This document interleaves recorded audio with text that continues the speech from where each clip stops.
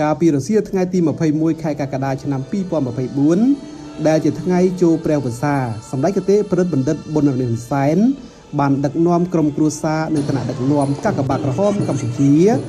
អមជាមួយមន្ត្រីរាជការជាច្រើនអ្នកទៀតនាំយកតេយ្យទានតេយ្យវត្ថុនិងទានព្រះវស្សាព្រេងព្រមទាំងបច្ច័យវេប្រគិនដល់ព្រះសង្ឃដែលគង់ចាំព្រះវស្សាចំនួន3ខែ ចាប់ពីថ្ងៃ100ខែអាសាឍដល់ថ្ងៃទី15កើតខែអាសត់ឆ្នាំ2024នៅវត្តមនីសវណ្ណហៅវត្តចម្ពុះក្អែកស្ថិតក្នុងសង្កាត់ព្រែកថ្មីខណ្ឌច្បារអំពៅរាជធានីភ្នំពេញ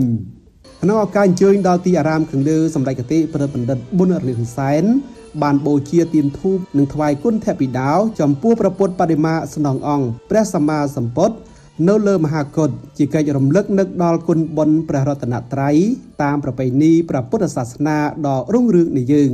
នឹងបានធ្វើបទនមស្ការថ្វាយបង្គំព្រះពុទ្ធរូបថ្វាយបង្គំព្រះសង្ឃជាសាវកនិងសមាទានសិលដើម្បីរំលឹកនឹកដល់ព្រះសម្មាសម្ពុទ្ធព្រះបរមគ្រូនៃយើងបន្ទាប់ពីប្រារព្ធពិធីនានាតាមគន្លងប្រពៃណីព្រះពុទ្ធសាសនារួចមកសម្ដេចកទេព្រះបណ្ឌិតនិងក្រុមគ្រួសារ ព្រមទាំងអាយដាមលោកជំទាវជាពុទ្ធបរិស័ទទាំងអស់បានវេទានវសាប្រេងគ្រឿងឧបភោគបរិភោគភេសជ្ជៈនិងគ្រឿងសក្ការៈប្រគេនសម្ដេចព្រះពោធិវង្សកេតិបណ្ឌិតអំលឹមហេង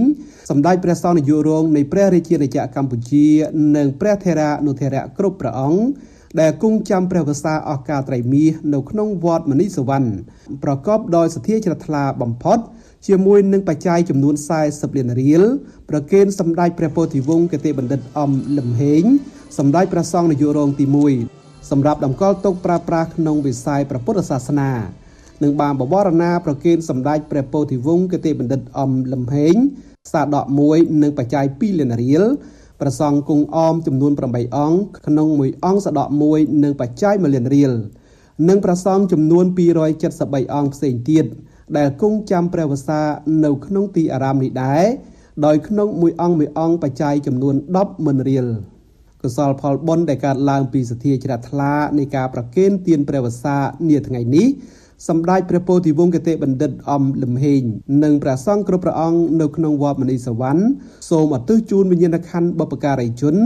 ក្នុងនោះមានវិញ្ញាណក្ខន្ធមហាអបាសកលីនគ្រី វិញ្ញាណក្ខន្ធអ្នកអង្គញាព្រឹទ្ធមហាបាសិកាធម្មញានវិវត្តនាប៊ុនសៀងលី ជាមេដាបេដាបង្កើតសម្ដេចកទេព្រឹទ្ធបណ្ឌិតប៊ុនរ៉ានីហ៊ុនសែន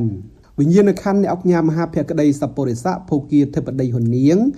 និងមហាបាសិកាឌីប៉ុកមេដាបេដាបង្កើតសម្ដេចអគ្គមហាសេនាបតីតេជោហ៊ុនសែនព្រមទាំងវិញ្ញាណក្ខន្ធញាតិកាទាំង7សន្តានដែលបានចែកឋានទៅកាន់វរៈលោកខាងមុខហើយនោះ បន្ទាប់ពីសម្ដេចព្រះពោធិវង្សគតិបណ្ឌិតអំលំហេងព្រះថេរានុថេរៈគ្រប់ព្រះអង្គសូត្រពហុទេវាទទួលយកនៅទានវសាគ្រឿងឧបភោគបរិភោគភេសជ្ជៈនិងបច្ច័យរួចមកសម្ដេចកទេព្រឹទ្ធបណ្ឌិតព្រមទាំងអាយដាមលោកជំទាវ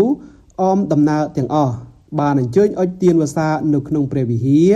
ជាកិច្ចចាប់ផ្ដើមរដូវកាលចូលព្រះវស្សារយៈពេល3ខែដោយចាប់ផ្ដើមពីថ្ងៃ100ខែអាសាឍនេះតទៅ សូមបញ្ជាក់ថាជាមួយនឹងការប្រគេនទានព្រះវស្សានិងគ្រឿងឧបភោគបរិភោគដល់ព្រះសង្ឃក្នុងរដូវកាលចូលព្រះវស្សានេះសម្ដេចកតេព្រឹទ្ធបណ្ឌិតនិងក្រុមគ្រួសារបានធ្វើទានចំពោះតាជីយាយជីដែលរស់នៅរសាសិលក្នុងវត្តមនីសវណ្ណនេះដែរដោយក្នុងម្នាក់ម្នាក់ទទួលបានក្រណាត់សមួយដុំនិងថវិកា50000រៀល